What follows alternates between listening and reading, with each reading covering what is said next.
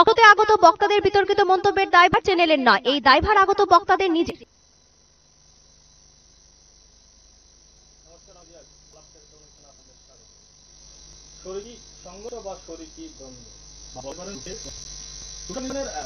বলা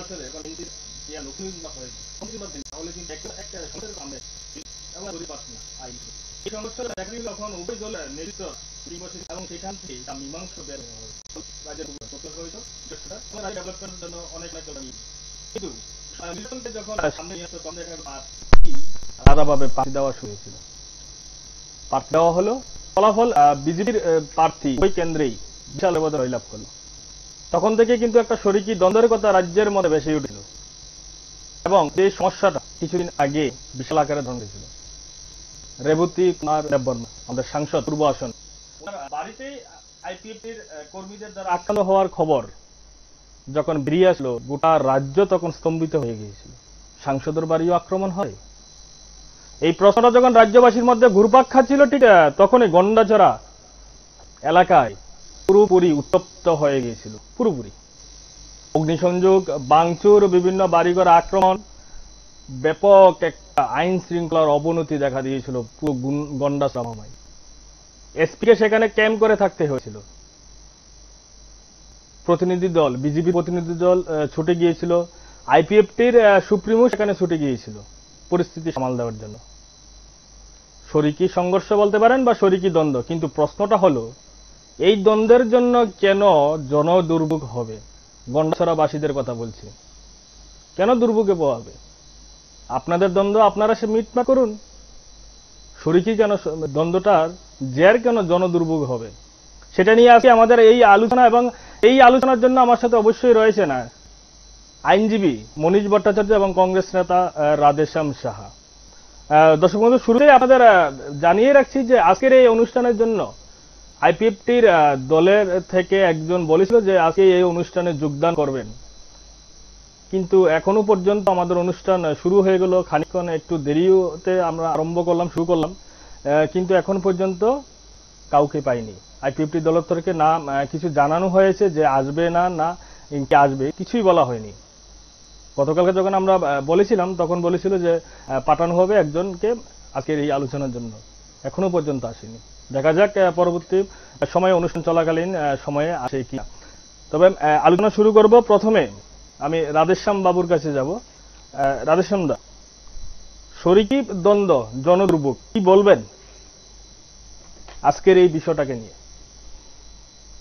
আমি আজকে আমাদের বিজেপি এবং আইপিএফটি তাদের জুটে যে ত্রিপুরা রাজ্যে গভর্নমেন্ট হয়েছে বিধানসভায়, মানুষের কাছে যে বার্তা দিয়ে এসেছিল, সেই বার্তা সঠিকভাবে পালন করিনি এবং আজকের দিনে আমরা এখানে বসেছিলাম আইপিএফটি এবং জিবির সেই দ্বন্দ্ব নিয়ে আমাদের কংগ্রেসের তরফ থেকে আমি এসেছি। আমি আশা করেছিলাম যে আমি আইপিএফটি বা কাউকে এখানে হব যেহেতু আমাদের ত্রিপুরা রাজ্যের জাতি উপজাতি মানুষের আমরা বসবাস আমরা এখন সরকারও আইপিএফটি এবং বিজেপি দুপাক সরকার পরিচালনা করছেন তাদের কর্তব্য তাদের যে দায়িত্ব, এই রাজ্যের শৃঙ্খলা বজায় রাখার জন্য, সেই জন্যই আজকে আমাদের দলের তরফ থেকে আমরা তাদেরকে রাখতাম যে এই রাজ্যের শান্তি শৃঙ্খলা কীভাবে বজায় থাকবে, কীভাবে সে রক্ষা যায়, সেই আজকে আমরা পারি নাই, তাতে অনুভূতি তার জন্য আশা করব এই রাজ্যের যারা শান্তিপ্রিয় মানুষ, জাতি উপজাতি বংশের মানুষ, আজকে এই চ্যানেলের মাধ্যমে যারাই আজকে দেখছেন আমাদের দলের প্রতি আমাদের রাখবে যে সাধারণ মানুষ আজকে কি কারণে তাদেরকে আজকে নির্বাচিত করেন আইপিএফ এর আসন বিধায়ক এবং আমাদের জিপির যে ছয়ত্রিশ জন বিধায়ক তার মধ্যে এগারো জন বিধায়ক আমাদের এসটির সিটে, সেই তারা তীব্র এবং দায়িত্ব কি তারা হারে করছেন মতলব তারা কি করছেন, সেটাতে প্রশ্ন প্রশ্ন। হবে কেন? যে আমাদের পার্লামেন্টে আমরা তাকে যারা বুয়ে নির্বাচিত করেছে, সেই পুরো সিটে সবাই কাটিয়েছে আর বাড়িতে আক্রমণ হয়েছে এবং কি কারণে আক্রমণ করা হলো, কি সেটা আমরা আমাদের দলের পক্ষে আমরা আশা করি সেই ওই দল আইপিপি এবং সেই বিজেপি, তারা ক্ষেত্র প্রকাশ করুক উদ্ঘাটন করুক। আমরা জনসাধারণের কাছে কি কারণে এইগুলা হলো, তার পিছনে কি মদত, কি কারণ? দর্শকদের আবারও বলে রাখছি যে আমরা আইপিএফটি দলের সাথে যোগাযোগ করেছিলাম। আজকের যে অনুষ্ঠান এবং বিষয়টা নিয়ে। জোটের দ্বন্দ্ব ও জনদুর্ভোগ। বলা হয়েছিল আইপিএফটির দল থেকে একজন প্রতিনিধিকে পাঠানো হবে আমাদের আজকের এই অনুষ্ঠানে। কিন্তু এখনও পর্যন্ত আমরা কাউকে পাইনি। বুঝদা আজকের যে বিষয় আমরা রাখলাম আজকে আমাদের আলাপচারিত অনুষ্ঠানে, জুটে দ্বন্দ্ব ও জনদুর্ভোগ, কি বলবেন সেই বিষয়টা নিয়ে? দেখুন, জোট নিয়ে ক্ষমতা দখলের আগেও দু ধরনের সরকার দেখেছি। একটা বামফ্রন্ট সরকার দীর্ঘদিন ছিল, ওরাও শরিক শরিক নিয়ে ওরা ক্ষমতায়। এরপর কংগ্রেস টিএস মিলে ওরাও পাঁচ বছর ক্ষমতায় ছিল শরিক নিয়ে। আজকের যে শরিক সংঘর্ষ বা শরিক সংঘর্ষের কারণে জনদুর্ভোগ এটা অতীতে কোনো সময় দেখা যায়নি কোনো সরকারের আমলে। না বামফ্রন্ট আমলে না কংগ্রেস টিএস আমলে। সবচেয়ে বড় বছর হচ্ছে শরিক দ্বন্দ্বগুলো কিসের ভিত্তিতে হতো আমরা কেউ জানি না। মনে হয় না। সম্পূর্ণই ক্ষমতা কেন্দ্রিক এলাকা দখল সমস্ত কারণে এবং এগুলো দুর্ভোগ এটার তীব্র প্রতিবাদ আমি করি এবং সরকারের কাছে আমার দাবি এই শরিকি সংঘর্ষের নামে যত দুর্ভোগ অতি দ্রুত যেন নিষ্পত্তি করে। দর্শক বন্ধুরা, আপনারা যারা আজকে আমাদের সাথে সরাসরি করতে বলতেন বা এই বিষয়ে আপনাদের যদি কোনো মতামত থাকে, তাহলে আপনারা ফোনের মাধ্যমে আমাদের সাথে সরাসরি অনুষ্ঠানে যোগদান করতে পারবেন। তবে আপনাদেরকে দেখিয়ে রাখছি এবং আমাদের অতিথিদের সামনে তুলে ধরছি। সাংসদ রেবতী কুমার যখন তার বাড়ি আক্রান্ত হয়েছিল, ঠিক পরদিন আমাদের সাথে ফোনিং সাক্ষাৎকার কি বলেছে? আমি পিসিআর দীপকে বলব, সেই বিষয়টা তুলে ধরার জন্য বা সেই আমাদের ফোনিং সাক্ষাৎকারটা, সেটা দর্শকদের সামনে তুলে ধরার জন্য। জাস্ট একটা প্রশ্ন আপনার বাড়ি কি গতকাল আক্রান্ত হয়েছে? হ্যাঁ হ্যাঁ। আপনার অভিযোগ আইপিএফ লোকেরা। আইপিএটির লোকেরা। হ্যাঁ। সাধন ত্রিপুরা তাদের সিগন্যাল সভাপতি। তার বাড়িতে প্রায় সময় আড্ডা হয় মদের আসর বসে অনেক কিছু। সেখানে সমস্ত অসামাজিক কার্যকলাপ। এবং কথায় কথায় অস্ত্র নিয়ে বেরিয়ে যাওয়া এই সমস্ত তাদেরকে। গতদিনও তিন রাউন্ড ফায়ার। হ্যাঁ। তারপরে আমার এক আত্মীয় আমার জামাইবাবু ওনার গাড়িতে এর আগেও তারা ভাঙচুর করেছিল। হ্যাঁ। তারপরে গতদিনও আগুন লাগিয়ে দেয় একটা বাইকও আগুন লাগায় বাইকের মধ্যে। তারপরে আমাদের দুজন কার্যকর্তাকে আক্রমণ করে একজনকে এখন হসপিটালে মানে করাতে হসপিটালে আপনি কি গতকালকে বাড়িতে ছিলেন না আগরতলায় ছিলেন? না না আমি আমি আড়াইটা পর্যন্ত ছিলাম গলেশ্বরে আমি আমাদের চার্টার একটা প্রোগ্রাম ছিল। সাংসদকে সম্মাননা দেওয়ার যে প্রোগ্রাম সেখানে অ্যাটেন্ড করে আমি আগরতলায় স্যার তাহলে হ্যাঁ। ওই- ওই যে গড়ছড়া এলাকায় যে যার নাম বলেছেন ওনার বাড়িতে এভাবে মদের আসর বসে তাহলে মানে আপনাকে যে টার্গেট করা হয়েছে আপনি সেই বিরুদ্ধে রুখে দাঁড়িয়েছেন তার জন্য কি আপনার উপর আঘাত টার্গেট করা হয়েছে নাকি অন্য কোনো বিষয় রয়েছে রাজনৈতিক কোনো বিষয় রয়েছে? রুখে দাঁড়ানোর ব্যাপার তো আমি না আমি কি রুখে দাঁড়াবো? নির্বাচনে পাঠিয়েছি জয়লাভ করেছি হয়তো বা তাদের মেনে। আর সেই কারণে আর আমি তো কাউকে বেশি আক্রমণ জানি না কেন তাদের এমন বাবাকে হুমকি দিয়েছিল টেলিফোনে এফআইআর করা হয়েছে তারা ওই তাদের নামে এফআইআর করা হয়েছিল পুলিশ বলেছে কলার পাওয়া যাচ্ছে আপনি যখন আপনার যখন আপনার বাড়িতে আক্রমণ হয়েছিল তখন কি আপনি আহ, প্রশাসনের কথা বলেছিলেন? এসডিপিউ এসডিপিউ কে আমি টেলিফোন করি তারপরে এসডিপিউ যখন অ্যাকশন নিচ্ছে না টেলি লাইনই পাওয়া যায় না। আমি শুনলাম উনি সিভিল ড্রেসে অন্য জায়গায় ছিলেন অন্যের বাড়িতে এরকম শুনেছি আপনার সাথে আপনার সাথে কথা বলার পর এইচডিপি কোনো অ্যাকশন নেয়নি? হ্যাঁ তারপরে নেয়নি তো। এক ঘণ্টা পরে পুলিশ পাঠালো। তারপরে আমি বাধ্য হয়ে এর মধ্যে আমি এসপি কে টেলিফোন করে এসপি কে সব জানাই।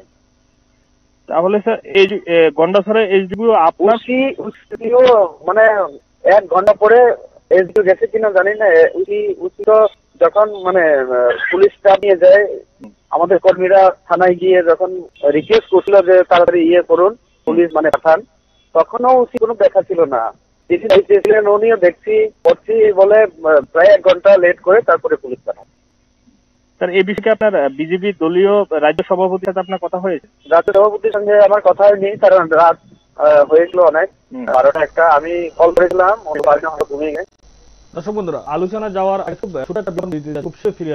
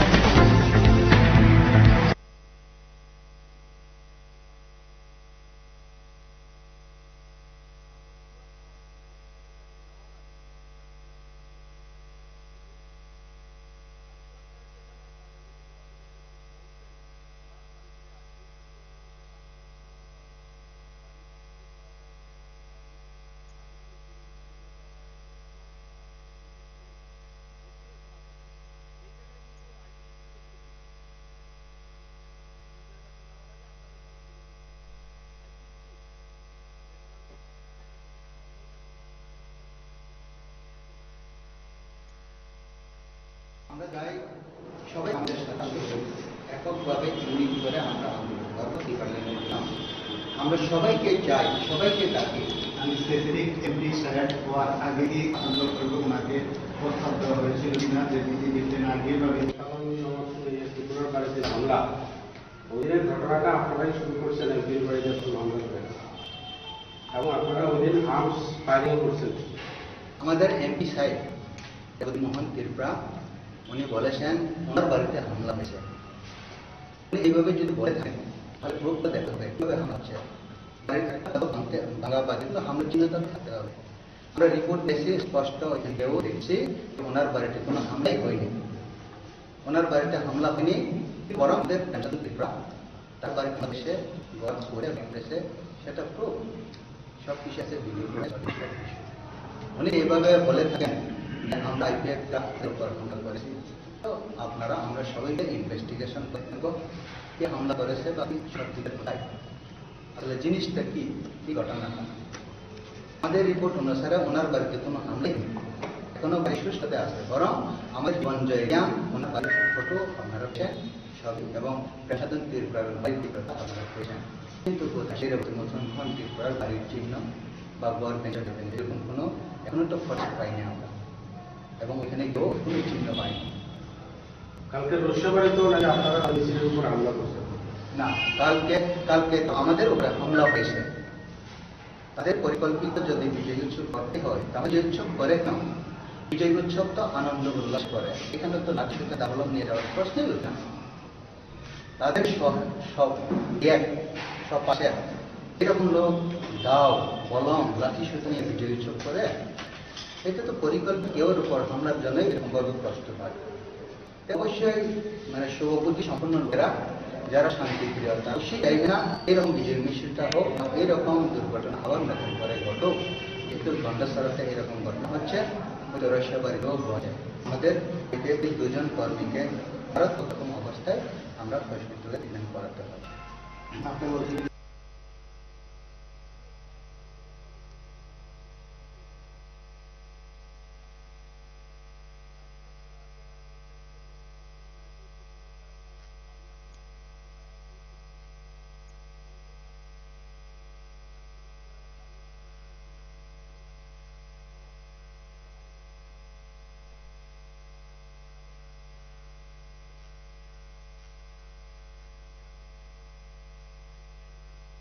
আক্রমণ হয় বরং আইপিএফটির কর্মীদেরকে উল্টা আক্রমণ করা হয়েছে অ্যাকচুয়ালি আমাদের এই যে আজকে আইপিএফটি এবং বিজেপির যে দ্বন্দ্ব সেই দ্বন্দ্বটা অ্যাকচুয়ালি হচ্ছে এটা ব্যক্তিগত সেই পাহাড়ে তাদের দখলকে নেবে আগামী দিনে। বিজেপি চাইছে যে এখানে আইপিএফটি পাহাড়টিকে সরিয়ে সরিয়ে দেওয়ার জন্য আইপিএফটি দলটাকে উঠিয়ে দেওয়ার জন্য এবং আইপিএফটি যাতে সমস্ত বিধায়ক যাতে যদি দুইজন না আসে তাদেরকে বাদ দিয়ে সেই বিজেপিতে জয়েন করিয়ে নেওয়া সেটা পরিকল্পনা নিয়েছিল বিপ্লব বাবু হুম। এবং সেটা আই আইপিএফটি পরবর্তীকালে সেটা প্রেস কনফারেন্স করে বলেছেন যে আমরা বিজেপিতে জয়েন করছি এটা তাতে আমরা যে বিজেপি হচ্ছে পাহাড়ে আইপিএফটি যে দল সেই দলটা যাতে এখানে যেহেতু সামনে নির্বাচন তারপরে হবে আইসি নির্বাচন তার আগে আইপিএফটি যুক্ত করানোর জন্য বিধায়কদের সেই চেষ্টা চলছে। আর আইপিএফটি চেষ্টা চলছে পাহাড়ে তাদের অস্তিত্ব রক্ষা করার জন্য। তাই আমরা আজকে কংগ্রেসকে এই যে পাহাড়ে যে একটা পরিবেশ তৈরি হয়েছে বিভিন্ন রাজ্যে। রাজেশন দা আহ, যেমন জুট আমল ছিল আমাদের জোট ছিল। এই সরকার তো বড় হয়েছে যে সারা রাজ্যেই আজলি ছিল সেই জুট জামানায় পাঁচ বছর যেটা সিপিএম এর নেতৃত্বরা পঁচিশ বছর বলে এসেছিলেন জুটের রাজত্বের কাহিনী সেটা বলে বলে সব রাজ্যবাসীকে জানিয়েছিলেন আমরা কংগ্রেস অষ্টআশি সনে ক্ষমতা আসার আগে পাহাড়ের যে আগুন ছিল হুম, পাহাড়ের যে উগ্রপন্থা ছিল সেই উগ্রপন্থার যে আমাদের বিজয়ের আঙ্কল বিজয়ের আঙ্কলকে স্বাভাবিক জীবনে ফিরিয়ে আনার জন্য কংগ্রেসের রাজীব গান্ধীর সময়। এখানে সুধীর বাবু যে পাহাড়ে শান্তি ফেরানোর জন্য এবং সারা ত্রিপুরা রাজ্যে শান্তি ফেরানোর জন্য যে প্রচেষ্টা নিয়েছিলেন সেই প্রচেষ্টায় জাতি উপজাতির মধ্যে যে মেলবন্ধন তৈরি হয়েছিল সেটা আজও এই রাজ্যে প্রতিষ্ঠিত আছে এবং সেটাকে এই পাহাড়ে আগুন ধরানোর জন্য বর্তমান যে বিজেপি সরকার এবং আইপিএফটি আইপিএফটি জোট সরকার, তারা যে এখানে ক্ষমতা লোভের জন্য যে জোট বেঁধেছেন, সেটাকে পাহাড়ে আগামী দিনে সেটা আগুন ধরানোর জন্য সেটা বেশি দিন আমার মনে হয় না। সেই দুই জুট জুট থাকবে, কারণ সেটা জুট নয় সেটা হচ্ছে ব্যক্তিগত লাভালাভের জন্য আজকে পাহাড়ে সেটা চলছে ব্যক্তি লাভের জন্য। যারা আজকে করছেন। তারা ত্রিপুরা রাজ্যে সেই জাতি উপজাতির মধ্যে বিভেদ সৃষ্টি করে- করে দেবেন এবং আগুন ধরিয়ে দেবেন। তার থেকে যদি আমাদের রক্ষা পেতে হয় তার থেকে যদি আমাদের রক্ষা পেতে হয় তাহলে একটাই আমাদের এই রাজ্যে আমাদের শান্তির জন্য আমাদের জাতির এবং উপজাতির মধ্যে যারা আজকে সেটা ত্রিপুরাকে যেটা আজকে আমরা চাই শান্তি যেটা ছিল আমাদের যেটা শান্তি বজায় আছে এখনও আমি বলব যেটা আগুন ধরানোর চেষ্টা করছে সেটার জন্য সমস্ত এই পাহাড়ে সমস্ত আইপিএফটি এবং বিজেপির তরফ থেকে মানুষ ধীরে ধীরে চলে যাচ্ছে। যারা উন্নয়নের নাম দিয়ে যে পাহাড়ে ক্ষমতায় এসেছেন সেই উন্নয়ন তো ছিটেফুটেও নেই পাহাড়ে। পাহাড়ে একদিকে চলছে মানুষের সেই অনাহার, সেই মৃত্যু, মিছিল বয়ে চলছে। পাহাড়ে সেই দিনের পর দিন আমরা দেখতে পাচ্ছি যে স্বাস্থ্য ব্যবস্থা ভেঙে পড়েছে অর্থনীতি ব্যবস্থা ভেঙে পড়েছে। সেগুলার থেকে মানুষকে যদি আগামী দিনে মুক্তি পেতে হয়, তাহলে আগামী যে এডিসি নির্বাচন হবে, সেই এডিসি নির্বাচনে দেখবেন আপনারা যে পাহাড়ে আমাদের সেই কংগ্রেসের নেতৃত্বে আগামী দিনে আমাদের সেই অঞ্চলে আমাদের এডিসি দখল হবে, তারপরেই শুরু হবে আমাদের ত্রিপুরাতে আমাদের সেই সরকার, নতুন সরকার আবার দুই হাজার তেইশে প্রতিষ্ঠিত হবে, আমি আশা করি। আপনারা তো বলেছিলেন রাধেশ্যাম দা, আপনারা বলেছিলেন যে লোকসভায় এইবার বিপুল ভোটে আপনারা জয়ী হচ্ছেন বা আপনার এবং কি সরকারও গঠিত গঠন করতে পারেন রাজ্যের মধ্যে, কিন্তু ফলটা উল্টো। মনীষ দা, যেটা বলব প্রতি বছর একই কথা বলে আসছিলেন যে জুট জামানার কথা। কংগ্রেসের শাসনে জুটের কথা। সারা রাজ্যে আগুন জ্বালিয়ে দিয়েছিলেন, সারা রাজ্যটাকে বরবাদ করে দিয়েছিলেন। এখন যে জুট সরকার চলছে, এখনও সিপিএম একই কথা বলছে যে বর্তমান জুট সরকার রাজ্যটাকে একেবারে দুলিশাত করে দিচ্ছে। আপনি জুটের সরকারের মধ্যে কি তফাৎ দেখছেন দেখছেন? এই সিপিএম বক্তব্যটা যদি আপনি বলেন। যেটা হয়েছিল, সাধারণ মানুষের অধিকারের উপর আক্রমণ নেমে এসেছিল। রাজনৈতিকভাবে এটা ইয়ে এসেছিল। সেটাকে অস্বীকার করার কোনো উপায় নেই। হাজার হাজার ত্রিপুরা থেকে ছাত্র যুব অন্যান্য রাজ্যে পালিয়েছিল। পার্শ্ববর্তী দেশ বাংলাদেশে পালিয়েছিল। প্রচুর হত্যা। বেশ কয়েকটা কোনো হত্যা বিচ্ছিন্ন মনু নলুয়া এরকম অনেক বুড়ি বুড়ি ঘটনা আছে। দেখ সেগুলো সেইগুলো একটা অন্য- টাইপের পলিটিক্যাল ম্যাটার এখন বর্তমান যেটা হচ্ছে দুটো দল একদম ভিন্ন ধর্মী ভিন্ন দর্শন শুধুমাত্র সিপিএম কে উৎখাত করার জন্য একত্রিত হয়ে ওরা ইরানো লড়াই করল। ওরা ওরা বাম ফ্রন্টকে হারালো। হারানোর পরে এদের কাছে কোনো কর্মসূচি নেই। পুরোনো যে সেট ছিল, এক সরকারের রেরা তারপর আর তারপরে সেলফ হেল্প গ্রুপ আরও নানান ধরনের কাজকর্ম ছিল, তেত্রিশটা ভাতা ছিল বামফ্রন্ট আমলে। জিনিস ধ্বংস করে দিয়েছে এই সরকার যার ফলে ত্রিপুরাতে রাধেশ্যাম যেটা বললাম অনাহার, দুর্ভিক্ষ, স্বাস্থ্য ব্যবস্থা, সমস্ত কিছু ভেঙে পড়েছে। সেই অবস্থাকে যদি অতি দ্রুত যদি আবার না ফিরিয়ে আনা যায়, ভিন্নভাবেই এই সরকার আগে সরকারটা করেছে সাধারণ মানুষের কাছে সুবিধাগুলো যেন আরও ভালোভাবে যেন যায় সেটাই আমাদের দাবি থাকবে। একদিকে যখন সাংসদ বলছেন যে এক কথা যে বাড়ি আক্রান্ত হয়েছে উল্টো ওনার শরীর দলই বলছে যে কোথাও আক্রমণ হয়নি। দুটো বক্তব্য ভিন্ন। কিন্তু টিপটির যে বক্তব্য এখনও দাবি কি বলব আজকে সাংসদের বাড়ি আক্রমণ করেছে আমরা প্রথমেই আমি বলেছি সাংসদের বাড়ি সাংসদ এখানে এফআইআর করেছে বা এখানে গঠনে হয়েছে তারা আইনি। আইপিএফ যে প্রতিবাদ করছেন যে তারা সেটা করেননি আমি সেই দিকে যাচ্ছি না। আমার বক্তব্য হচ্ছে এখানে গন্ডগোল যে হচ্ছে সাধারণ মানুষ যে সাধারণ মানুষের যে এখানে সমস্যা হচ্ছে সেই সমস্যাটা দুটো দলের তাদের যে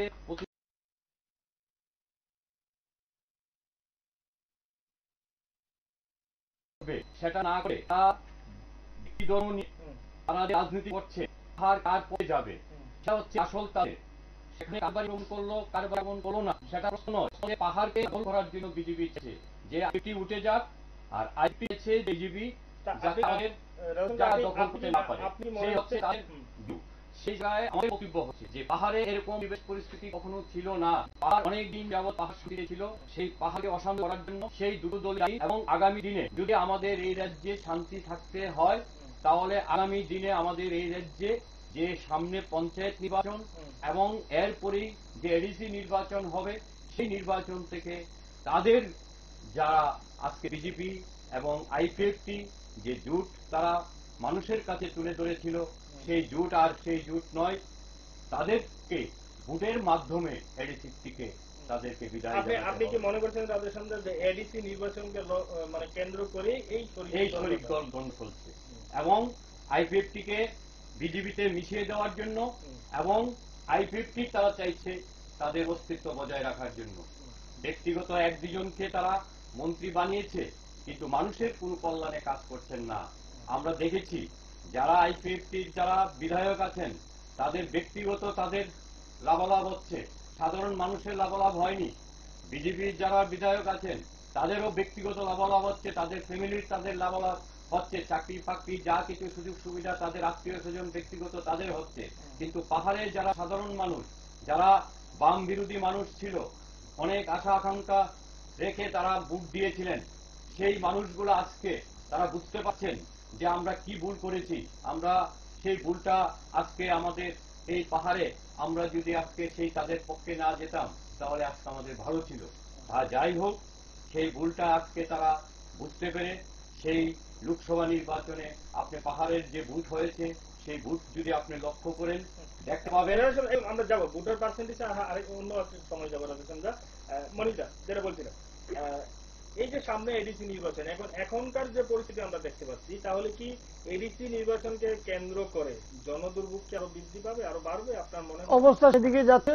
শুধুমাত্র এডিসির ক্ষমতা দখলকে কেন্দ্র করেই দুই শরিকি দলের মধ্যে যত দ্বন্দ্ব। বহু কষ্টের পর বামফ্রন্ট সরকার, নিপেন চক্রবর্তী এডিসি তৎকালীন সময় টিওজিএস এরও দাবি ছিল এডিসি করো। এবং বাম জমানায় ককবরক ভাষা স্বীকৃতি থেকে শুরু করে এডিসি ট্রাইবেল ল্যান্ড, বাঙালিরা না কিনে পারা এরকম আরও অনেকগুলো অনেকগুলো ধারা বামফ্রন্ট ইয়ের আইন এনেছেন। সেই আইনগুলোর বাইরে এই যে আজকে যারা ত্রিপুরাল্যান্ডগুলো দাবি করছে ত্রিপুরাল্যান্ডের স্পষ্ট কোন ধারণা ওরা দিতে পারে না নিজেরাই। তো লাখো লাখো উপজাতি যুবকদের ওরা করে ওদের পরিচিত করছে। কিন্তু জিনিসটা কি? কীভাবে হবে? কোনো ভিউ নেই। ক্ষমতায় আসার পর এক বছরের উপর হলো। ওদের কোনো বক্তব্য আছে উপর? কই, কীভাবে কীভাবে বের হলো? ওরা সরকারের চেয়ে অথচ ওরা দাবি করে যাচ্ছে। আবার যখন বিধানসভা ইলেকশনের আগে যখন দুই দলের যখন ইয়ে হলো মিটিং হলো, যখন একটা জায়গার মধ্যে যখন ঐক্য, যখন একটা বাতাবরণ তখন একদল বলল জিবি বলল যে না, ওরা ত্রিপুরাল্যান্ড বাদ দিয়ে আমাদের সংবিধানী প্রক্রিয়া অংশগ্রহণ করেছে। এভাবে জাস্ট ক্ষমতা দখলের জন্য সাধারণ দুর্ভোগ বাড়াচ্ছে। দিনকে দিন এটা বাড়বে।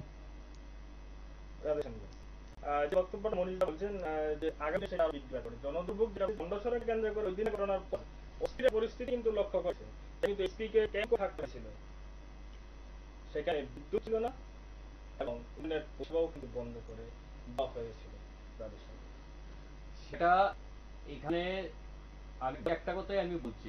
এখানে আমাদের পার্লামেন্টের যে সদস্য, যে নির্বাচিত হয়েছেন, এই এখান থেকে উনার ভারী আক্রমণ, সেটা যে হয়েছে, সেটা পিছনের উৎসটা কি? সেটা উন্মোচন করতে সেটাই আমাদের দাবি, আমাদের দলের তরফ থেকে আমরা এটা সেই পার্লামেন্টের সদস্য ওনার বাড়ি কেন আক্রমণ করলেন আইপিটির তারা সেটা শ্বেতপত্র প্রকাশ করুক। কোথাও আক্রমণ হয়নি আইপিএফটি বলেছে বক্তব্য। আমরা আমাদের দলের থেকে আমাদের বক্তব্য হচ্ছে?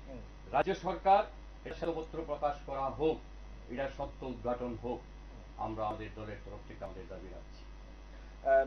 আরেকটা যেটা আপনারা বলছিলেন যে একটা সময় পঁচিশ বছর শাসনকালে সিপিআইএম বামফ্রন্ট সারা গোটা রাজ্যটাকে একেবারে তছনছ করে দিয়েছিল সন্ত্রাসের রাজত্ব কায়েম করেছিল একচেটিয়া শাসন করেছিল।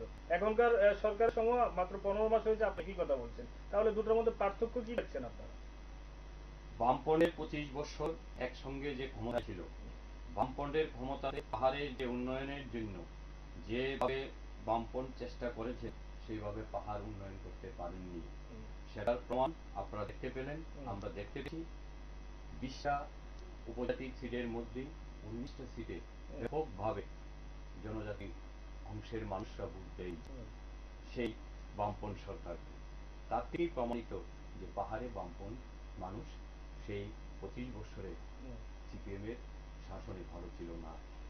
কিন্তু মানুষ এই বিজেপি সরকারকে পনেরো মাসে আনার পরে আজকে মানুষ বুঝতে পারছে যে পাহাড়ের মধ্যে যদি উন্নয়ন করতে হয় জাতি উপজাতির মধ্যে যদি মেলবন্ধন তৈরি করতে হয় তাহলে একমাত্র একটাই মাত্র দল রাজ্যে সেই দলটা হচ্ছে কংগ্রেস। এবং সেই কংগ্রেস দলে যে আমাদের যে প্রেসিডেন্ট আমাদের উনি আজকে সভাপতি হওয়ার পরে আমাদের কংগ্রেসের যে ভোটের পার্সেন্টেজ ওয়ান পার্সেন্ট ছিল সে সেখান থেকে ছাব্বিশ পার্সেন্ট আপনাদের ভোট পার্সেন্টেজ তো আপনাদের পার্সেন্টেজ ফোর্টাসের উপরে ছিল বিধানসভা তার জন্য নামে আছে ওয়ান পয়েন্ট আমাদের পার্সেন্টেজ যেটা আমাদের গত বিধানসভায় আমরা বিজেপি সরকার আর আইপিপি যে সরকার সরকার বর্তমানে এই সরকারের যে বিধানসভা নির্বাচন সেই নির্বাচনে কংগ্রেসের যে ভোট ছিল ওয়ান পয়েন্ট এইট পার্সেন্ট এই ওয়ান পয়েন্ট এইট পার্সেন্ট থেকে এইবার লোকসভায় আমাদের দুটো সিটি আমাদের দুটো সিটি জিতার কথা ছিল। আমি বলে দিচ্ছি আপনি শুনুন। দুটো সিটি জিতার কথা ছিল। একমাত্র আমরা জিততে পারিনি। আমাদের প্রকৃত মানুষ যারা এই রাজ্যের ভোটার, তারা ভোট দিতে পারেনি। যদি ভোট দিতে পারত, সঠিক ভোট হতো, তাহলে আজকে রেজাল্টটা অন্যরকম হতো। যাই হোক, আমরা যেহেতু লোকতন্ত্র বিশ্বাস করি, আমরা গণতন্ত্র বিশ্বাস করি, আমরা রিপুল যে একশো আটষট্টিটা রিপুল হয়েছে, সেই রিপুলের যে ভোট হয়েছিল, সেটা আজকে বিশ্লেষণ করলে দেখা যায়, প্রত্যেকটি রিপুলের যে ভোট হয়েছে যত- যতগুলো বুথে ভোট হয়েছে সবটিতে বিজেপি পরাজিত হয়েছেন সেখানে সবগুলোতে কংগ্রেস অ্যাডভান্স ছিল। তারপরেও আমি বলছি যে আগামী দিনে এই রাজ্যে যেভাবে মানুষের বলেছিল, যেভাবে এই সরকার, জুট সরকার, আইপিএফটি এবং বিজেপি যেভাবে মানুষের কাছে প্রতিশ্রুতি রেখেছিল, সেই প্রতিশ্রুতি একটাও প্রতিশ্রুতি পালন করিনি। এই নির্বাচনে, লোকসভা নির্বাচনে জয়ের পর আমরা দেখতে পেয়েছি যে রবীন্দ্র ভবনের সামনে তারা যে বিজয় উৎসব পালন করেছেন, সেখানে তারা বলেছেন, মুখ্যমন্ত্রী স্বয়ং বলেছেন যে আমাদের রাজ্যে যে তিরিশ পার্সেন্ট আমাদের আনএমপ্লয়েড ছিল, তার থেকে আমরা বাইশ পার্সেন্টে এখন চলে এসেছি। তিরিশ পার্সেন্ট থেকে বাইশ পার্সেন্টে চলে এসছে। টোয়েন্টি টু পার্সেন্টে আমি এটা বুঝতে পারলাম না ওনার লেখাটা। কোথায় আট এইট পার্সেন্ট আমাদের আজকে যে অফিস আমরা তার বাইরে আজকে যাব না অন্তত আরেকদিন আমরা সেই নিয়ে বসবো। তবে বলছি যে রাজেশচন্দ্র যে বক্তব্যটা বলছেন যে ওয়ান পয়েন্ট সেভেন থেকে টোয়েন্টি সিক্স পার্সেন্ট চলে যায় এবার লোকসভা নির্বাচনে কিন্তু আরেকটা বিষয় কিন্তু প্রশ্ন দেখা যাচ্ছে। তাহলে দুই সালের বিধানসভা নির্বাচনের পূর্বে ফর্টি পার্সেন্ট উপরে যেখানে কংগ্রেসের পার্সেন্টেজ ছিল বুট শেয়ার সেখানে কেন ওয়ান পয়েন্ট সেভেন সেখানে সেখানে একটাই মাত্র কারণ ছিল সেখানে আমরা এই রাজ্যের দিকে আমরা চেয়েছি যে এই রাজ্যটিকে বামপন্থী আমরা ক্ষমতাচ্যুত করার জন্য এবং ক্ষমতাচ্যুত করার জন্য সমস্ত কংগ্রেসের যারা এখানে ভোট দিয়েছিল আগে প্রত্যেকটি মানুষ কংগ্রেস থেকে আমরা বিশ্বাস করেছি। এই রাজ্যে সরকার করার জন্য আমরা বিজেপিকে ভোট দেওয়ার জন্য সেটা আমরা বিশ্বাস করেছি। সেটা আমরা বিশ্বাস করেছি সেটা আমি বলব না। কিন্তু পনেরো মাসের মধ্যেই মানুষ মানুষ সেই বিশ্বাসটা। সম্মানিত দা, একদম আহ, শেষ প্রশ্ন আমাদের হাতে সময় কম রয়েছে। আহ, সমস্যাটা দেখা বলছেন যে এডিসি নির্বাচনের সময় সেই যে সংঘর্ষটা দ্বন্দ্বটা সেটা আরও পেতে পারে। আপনার মতে অন্তত যাতে জনদুর্ভোগ না হয় তার জন্য কি করা যেতে পারে? প্রশাসনিকভাবে করতে হবে যা করতে হবে এবং রাজনৈতিক দলগুলোকে দায়িত্ব নিয়ে এই ধরনের নৃশংস অত্যাচার যেন না হয় তার জন্য প্রতিজ্ঞাবদ্ধ হতে হবে এবং আশা করি যে সরকার যথেষ্টভাবে স্টেপ নেবেন এই সমস্ত বিষয়ের উপর। একদম যথেষ্টভাবে স্টেপ নেবেন এবং আশা করা যাচ্ছে যে আগামী যে নির্বা- নির্বাচন রয়েছে পঞ্চায়েত এবং এডিসি নির্বাচন, সেখানে যাতে রাজনৈতিক সংঘর্ষ যার কোনোভাবে না হয় এবং কোনো ধরনের সমস্যা যাতে না হয় এবং যাতে কোনো দ্বন্দ্ব কারণে যাতে কোনো ধরনের জনদুর্ভোগ না হয় অবশ্যই সেই দিকে নজর রাখবেন প্রশাসন এবং রাজনৈতিক দলগুলো সেটা আমাদের অতিথিদের কাছ থেকে সেটা বক্তব্য উঠে আসছে। আলাপের জন্য এখানে শেষ করব। তবে শেষ করার আগে আমাদের দুজন অতিথিকে অসংখ্য ধন্যবাদ আমাদেরকে সময় দেওয়ার জন্য। এবং ধন্যবাদ আপনাদেরকে যারা আমাদের অনুষ্ঠান দেখছিলেন। দর্শক বন্ধুরা, আরও বলে রাখছি আর এই অনুষ্ঠানে আমরা আইপিএফটি দলের সাথে যোগাযোগ করেছিলাম। ওনাদের কাছ থেকে একজনকে এই অনুষ্ঠানে আসার জন্য। কনফার্ম করেছিল যে একজন আসবেই প্রতিনিধি আমাদের অনুষ্ঠানে, কিন্তু আসেনি আজকের এই অনুষ্ঠানে। এই বলে আজকের অনুষ্ঠান এখানে শেষ করব। ভালো থাকুন, সুস্থ থাকুন এবং অবশ্যই সতর্ক থাকুন।